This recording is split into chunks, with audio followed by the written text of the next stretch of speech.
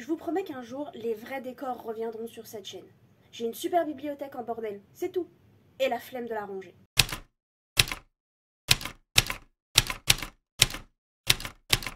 Bonjour tout le monde, j'espère que vous allez bien. Je vous souhaite un bon dimanche et je vous remercie de passer ces quelques minutes en ma compagnie. Aujourd'hui, j'ai décidé de râler. Parce que j'aime bien. Aujourd'hui, on va parler des tropes, des intrigues dans les livres qui me gonflent mais qui me gonfle. Du coup, eh ben, je suis obligée de faire un petit disclaimer. Parce que c'est Internet et que sur Internet, si on ne fait pas de disclaimer, on s'attire des problèmes. Si vous aimez bien ces troupes, c'est pas grave. Si vous avez écrit une de ces troupes dans un de vos romans, c'est pas grave. Si votre roman préféré a une de ces troupes, c'est pas grave. Vous avez le droit d'aimer ce genre de choses. Tout comme moi, j'ai le droit de les détester. C'est la magie de l'art en fait. Et c'est la magie du fait qu'on ait le droit d'en discuter. Du coup, on va commencer tout de suite parce que je pense que ça va être long et parce que je crois que j'ai plus de place dans mon téléphone pour filmer aucune vidéo. J'aurais peut-être dû faire du tri avant. Je vais peut-être faire du tri avant. C'est bon, j'ai fait du tri, on peut y aller. Et je pense qu'il n'y a quand même toujours pas assez de place. On va commencer tout de suite avec une trope euh, sur laquelle il est très facile de taper parce que tout le monde tape dessus en ce moment les triangles amoureux. Je pense que surtout, on a tous fait une très grosse overdose des triangles amoureux, parce qu'il y a eu une période euh, où si t'avais envie de lire, et eh ben t'étais obligé de lire un triangle amoureux, t'avais pas le choix. Le problème du triangle amoureux, c'est qu'en fait, en général, ils ont pas de saveur. C'est-à-dire qu'il est censé y avoir une énorme tension sur le fait que, oh mon dieu, qui va-t-elle choisir? Alors que dès le tome 1, parce qu'en général c'est dans plusieurs tomes, tu sais exactement avec lequel des deux elle va partir. Exactement. L'autre, c'est juste un bouche-trou, un rebound, un mec dont on va parler de la friendzone pendant euh, toute, toute, la saga, alors que la friendzone, ça n'existe pas. Hein. On, va éviter de s'énerver un peu plus qu'on l'est déjà. Et surtout, en général, eh ben, ils ont aucune personnalité. C'est juste le bad guy et le good guy, et c'est tout ce qui fait ce qu'ils sont. Ils ont rien d'autre en plus, à part peut-être se prendre la tronche pour une même fille qui en général n'a pas grand chose non plus, à part le fait qu'elle est adulée par deux mecs et tu sais pas trop pourquoi. Et c'est jamais queer Jamais si j'avais fait cette vidéo il y a quelques années, j'aurais rajouté le enemies to lovers, le friends to lovers, le fake dating, toutes ces tropes qui sont autour de la romance. Mais il se trouve que, bah, quand c'est queer, j'aime bien. Et je pense que je ne serais pas contre un triangle amoureux queer. Parce que j'en ai vu un une fois et que j'ai bien aimé. The Half of It, ou Si tu savais en français, c'est un film que je vous conseille grandement euh, sur Netflix. Et en fait, ce film, il a un peu réinventé le triangle amoureux. Il a apporté une nouvelle dose, une nouvelle, un nouveau goût plutôt au triangle amoureux, parce que déjà, la fille qui est au milieu, euh, c'est pas le personnage principal. Ensuite, eh ben c'est queer.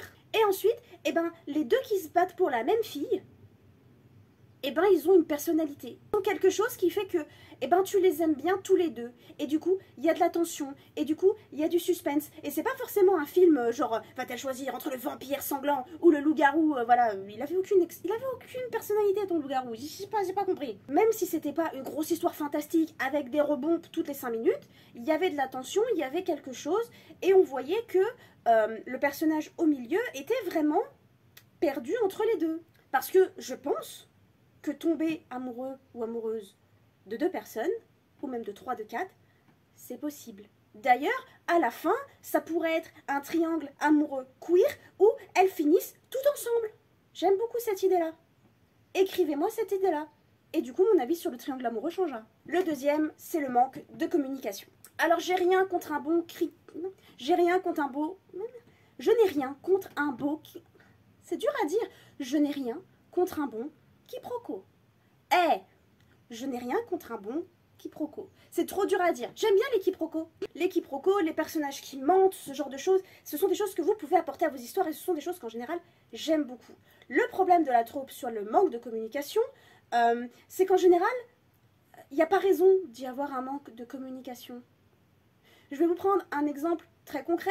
On va spoiler la série Angel, spin-off de Buffy contre les vampires. Si vous êtes en train de la regarder, va falloir sauter un petit peu. Il y a un moment où Wesley découvre l'existence d'une prophétie qui parle de Angel. Et cette prophétie, il me semble, si je dis pas de conneries, c'est qu'il va devoir buter son fils. Ou que son fils va le buter. Un truc comme ça. À partir du moment où ils apportent des gamins dans ce genre de série, je déteste ça. Mais ça, c'est autre chose. Je vais peut-être pas en parler, mais euh, ouais, les, grossesses et les enfants dans les séries pour faire redémarrer l'intrigue, ça m'énerve. Il y a que dans Supernatural que ça a marché, mais parce que Jack était pas vraiment un enfant. Enfin bref. Donc Wesley découvre ce truc Angel va devoir buter son gamin ou son gamin va devoir le buter, je m'en souviens plus. Et fait Wesley? Eh ben il dit rien. Ce qui veut dire que toutes les intrigues, tous les rebondissements, tous les obstacles, tous les conflits et surtout l'énorme conflit final entre Angel et Weasley euh, que tu vois venir à 230 km du coup, pourraient être résolus par Weasley qui tape sur l'épaule à Angel et qui lui dit Yo, poto, j'ai lu un truc, il faudrait que tu sois au courant. Weasley n'a aucune raison de cacher ça à Angel. Aucune. J'ai vu la série deux trois fois et je n'arrive toujours pas à voir pourquoi il va pas lui parler directement. Et le truc, c'est que justement c'est ça. S'il allait lui parler, eh ben la série n'existe, la saison n'existerait pas. Il y aurait aucune raison d'exister à cette saison, aucune. Pour moi, c'est un très gros défaut d'écriture. Votre personnage doit avoir une raison de ne pas dire la vérité. Il veut protéger son ami, euh, il se fait menacer, euh, une, raison. C'est un connard, ça peut être un connard, hein. moi j'ai rien contre. Mais il doit y avoir une raison. Si on veut créer de la tension sur ce mensonge, sur le quiproquo, les quiproquos c'est encore mieux, parce que le personnage pense l'avoir dit et en fait ne l'a pas dit. J'adore les quiproquos. Donc voilà, il faut que vos personnages y parlent entre eux. Et quand ils parlent pas entre eux, il faut qu'il y ait une raison. Et il faut que ce manque de communication ne soit pas la seule et unique chose sur laquelle vous basez votre intrigue et la relation entre vos deux personnages. Parce que on sait que ça va péter à la fin. On l'a vu venir. C'est le but. Donc si ça pète à la fin, il faut que ça pète bien. Bon, celui-là, il va être plutôt rapide. Euh, si ton personnage meurt, est-ce qu'il peut rester mort? J'ai été coupable de faire ça dans ma trilogie, hein, de tuer un personnage puis de le faire revenir ensuite. Hein. Je suis pas sûre de l'avoir fait dans ma tétra. Non, je crois pas. Mais en fait, si ton personnage crève, est-ce qu'il peut rester crevé? Non, parce que euh, moi, je me suis beaucoup investie émotionnellement. J'ai pleuré, j'ai mis beaucoup d'énergie dans mes larmes et dans ma tristesse quand ce personnage est mort je veux pas que ce soit pour rien. Une grande fan de Supernatural, mais au bout d'un moment, Supernatural, c'était gonflant. Je passe rapidement sur les deux suivants. Euh, l'une des tropes, l'un des tropes, une des intrigues qui m'énerve le plus, c'est euh, monsieur qui veut venger sa femme et ses enfants. Euh, ça arrive très souvent dans la fantasy, ce genre de choses. C'est pas que je comprends pas l'idée.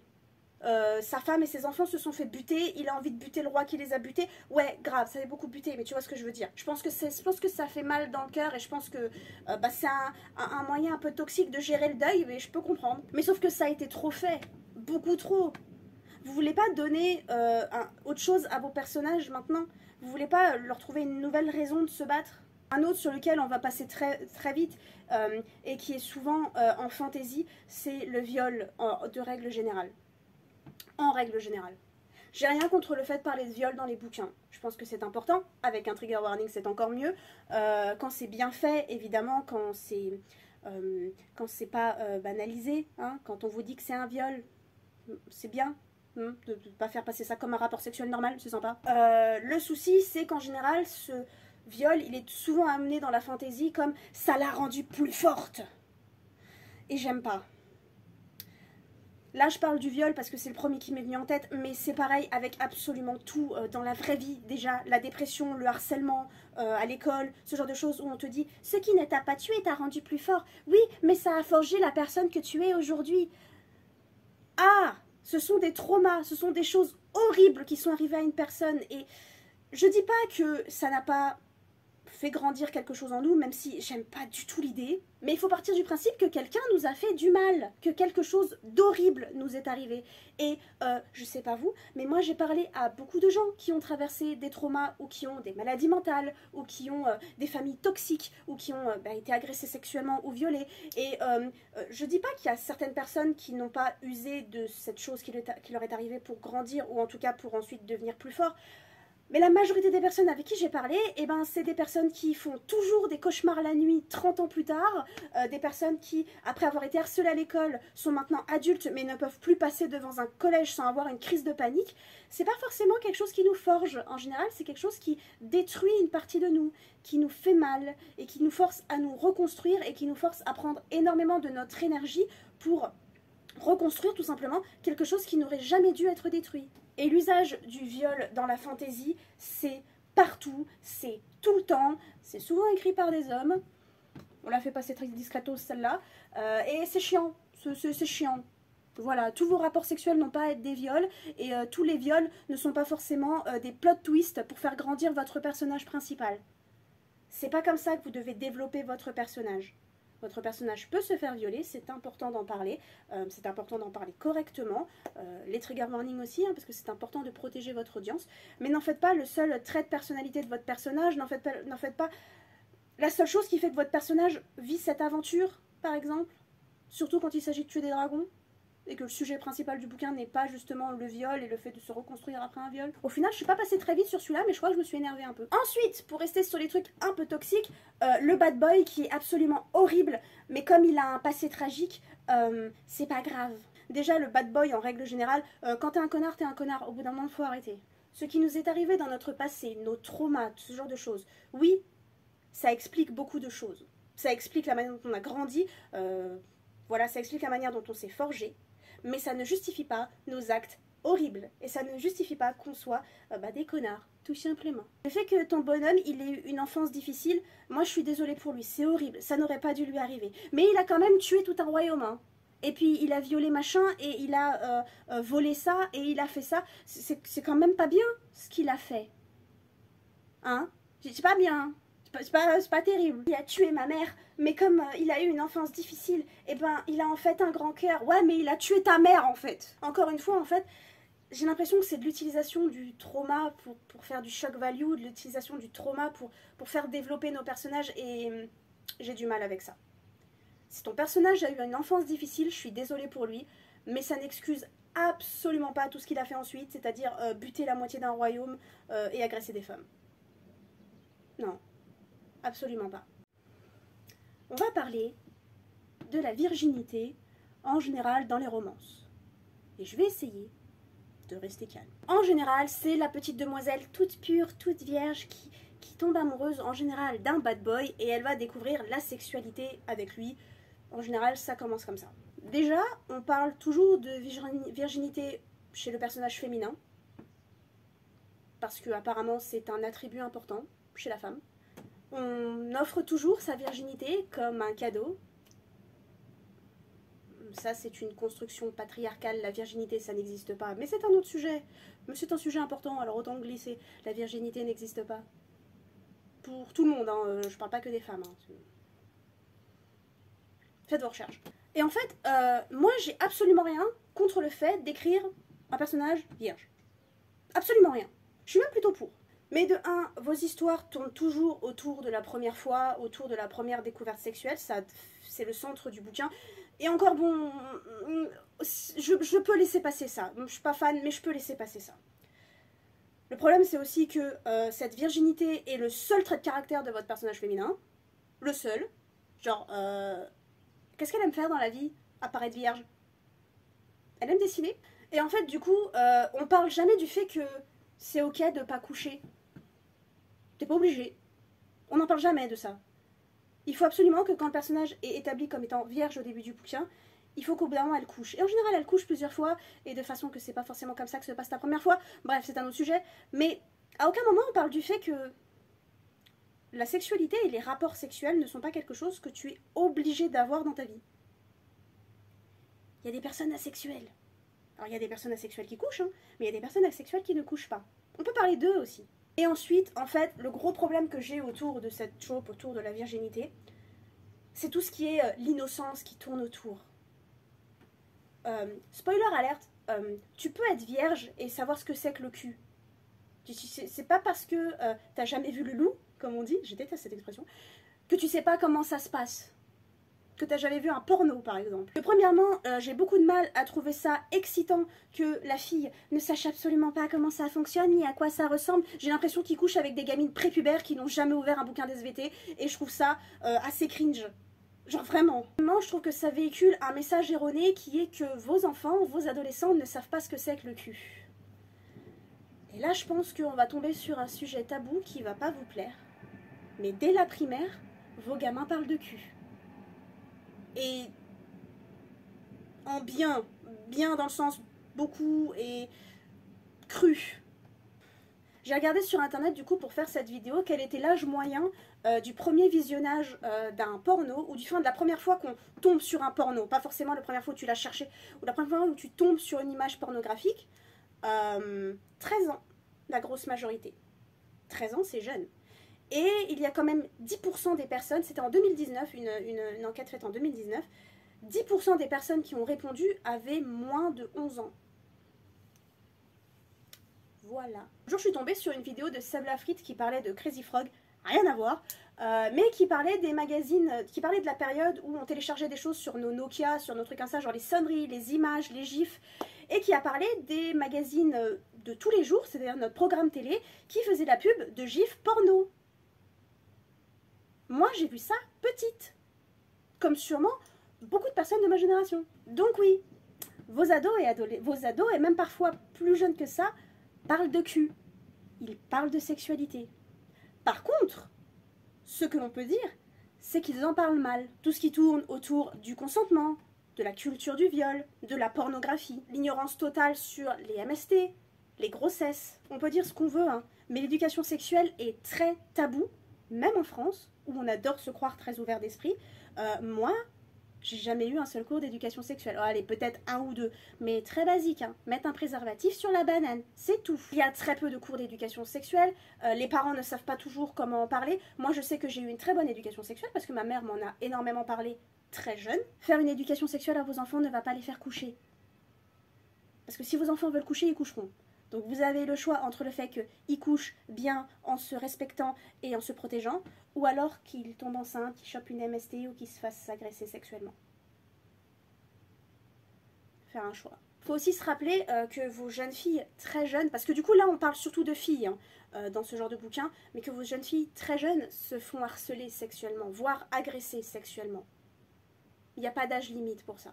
Certaines d'entre nous avons été victimes d'agressions sexuelles dès la primaire. Je ne sais pas si vous avez lu L'éveil des sorcières euh, de Cordelia, euh, qui se passe dans un collège, il me semble, si je vous dis pas de bêtises, mais je peux me tromper, euh, où le personnage principal est amené à faire face à un jeu que font les garçons.